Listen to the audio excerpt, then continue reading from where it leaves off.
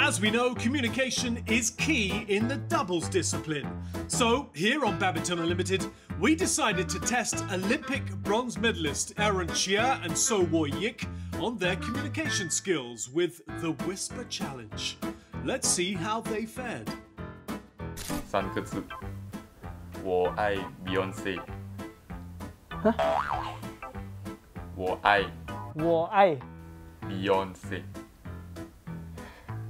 你用谁？